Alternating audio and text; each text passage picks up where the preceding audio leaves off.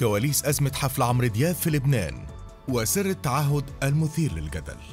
بالرغم من الأزمة الاقتصادية في لبنان إلا من المعتاد أن الشعب اللبناني شعب محب للحياة ولو بأبسط الإمكانيات وبيظهر أحيانا التناقض بين الوضع الاقتصادي المتردي وبين انتشار صور للمطاعم وأماكن الترفيه الفاخرة الكومبليت ده في الأعياد والمناسبات لدرجة بتخلي الناس بتسأل إزاي في مجموعة بتقدر تأمن الأكل الكافي للسهرات اللي أسعارها خيالية. وده أكده حالة من الجدل والانتقاد اللي توجهت لحفلة الهضبة عمرو دياب. من أول الإعلان عن إقامة حفل في لبنان بعد غيابه عنها لمدة 12 سنة. واللي تذاكرها خلصت من أول دقايق من طرحها وتعاد بيعها بمئات وألافات الدولارات في السوق السوداء. رغم أن سعرها الأساسي كان بيبدأ من 60 ل 160 دولار أقل فئة وصل سعر الطاولة من 3500 دولار ل 10000 دولار.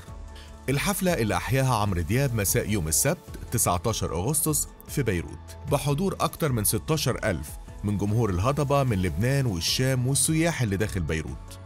وكانت بشهادة الجميع منظمة بشكل رائع وعالمية وأسطورية تليق بالهضبة فعلا. تفاعل الجمهور بشكل جميل وراقي مع فنانهم المحبوب لدرجة أنه اتكتب عنها إنها حفلة تاريخية لم يحظى بها مطرب لبناني أو عربي معاصر في تاريخ لبنان.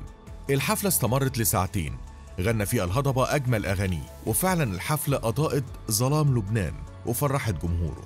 لكن حالة الجدل بدأت مع نشر الصحفيين لشروط حفل والتعهد اللي رافق دعوى الحضور واللي كان مكتوب فيها تعهد وإقرار بالالتزام بقواعد وشروط حفل الفنان عمرو دياب. أفيد وأنا أتمتع بكامل الأوصاف المعتبرة شرعا وقانونا ودون أي إكراه وبملء إرادتي. بعدم تصوير نهائيا أي مقطع أو أجزاء فيديو طيلة مدة هذا الحفل. كما أتعهد وألتزم بالتواجد والحضور ضمن الأماكن المخصصة والمسموح لي فقط وعلى أن يقتصر السماح لي بتصوير صور فوتوغرافية. على درجة عالية من الاحترافية خلال الفترات وفي الأماكن التي يسمح لي بها. متعهدا بالالتزام بكافة التعليمات والأذونات والتوجيهات بهذا الخصوص. مش بس كده ضم التعهد شرط اعتبره الصحفيين غريب وهو أعطي الحق المطلق للفنان عمرو دياب أو الشركة المنظمة بحذف أي مقال أو تصريح منشور أو متداول به على مواقع التواصل الاجتماعي والمواقع الإلكترونية عند مخالفة ما ذكر أعلاه وذلك دون الحاجة لأي إنذار أو مراجعة القضاء. وإن هذا الإقرار نهائي لا رجوع عنه حاضرا أو مستقبلا. يعني من الآخر كده التعهد بيشرط نقل صورة إيجابية عن الحفل وأي نقل لصورة مش احترافية أو إساءة للفنان عمرو دياب أو الجهة المنظمة يبقى من حقه يحذف فورا. ده غير إنه كان من شرط حضور الحفلة إن الحضور يلبسوا لون أبيض. التعهد ده كان عامل حالة جدل واسعة بين الصحفيين في لبنان لكن علقت عليه الإعلامية اللبنانية نضال الأحمدية وقالت إنه من حق الفنان عمرو دياب يحط الشروط اللي عايزها. لأن ببساطة الصحفي بيكون مدعو لحضور الحفلة مجانا فلو مش عايز يمضي تعهد ما يحضرش. بالرغم من التعليقات اللي اتكتبت من الحضور واللي واضح منه قد إيه كانوا فرحانين بالحفل الأسطوري لعمرو دياب وإزاي استمتعوا بالحفلة وما كانش فيها أي مشاكل إلا إن في متابعين عملوا من شروط الحفلة أزمة وبدأوا بتوجيه انتقادات للهضبة تحت هاشتاج عمرو دياب. فعلق متابع على إنستجرام وكتب لك كاظم الساهر يلي هو كاظم الساهر مع كل عظمته وقيمته الفنية وتاريخه ما بحياته عمل هيك شيء لا بس يجي على لبنان ولا على غير لبنان. بس ما الحق عليك الحق على المقيمين على المهرجان يلي سمحوا له يتمادى والحق على دولتنا. يلي سمحت له يتمادى.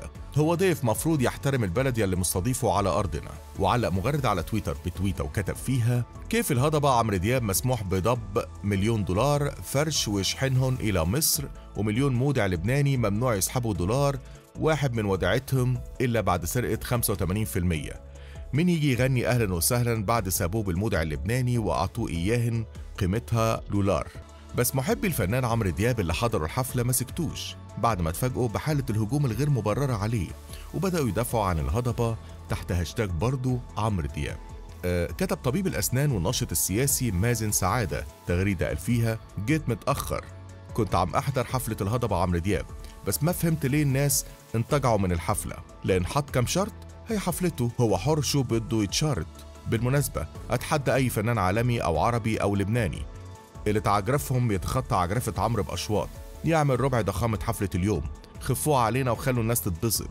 كمان كتبت الصحفية اللبنانية كارولين أكوم تويتة قالت فيها بعد في حدا انتقد حفلة عمرو دياب واللي حضروها؟ طيب نحن حضرناها. قال لنفرح ونرقص ونغير جو ودفعنا من مصرياتنا اللي عم نفلح ليل نهار لنقبضنا. واللي مش عاجبه يحضر الفيديوهات بيرتاح. مش بس كده كمان علقت مغردة من الحضور بتويتة كتبت فيها الهضبة عمرو دياب غنى مع الآلاف من كل الأعمار بأجواء أسطورية ما صارت ولا الفنان. وبيحق لنا نفتخر بعاصمتنا وأولاد بلدنا اللي نفذوا هالحفل الضخم بمستوى عالمي 100% ونقول هيدا لبنان اللي بيرجع منارة بسرعة قياسية. وإحنا من موقع مصر بنتمنى مزيد من النجاح والنجومية للبوب ستار المصري العالمي عمرو دياب ودايما حفلاته التاريخية تكون إضافة لتاريخه المشرف.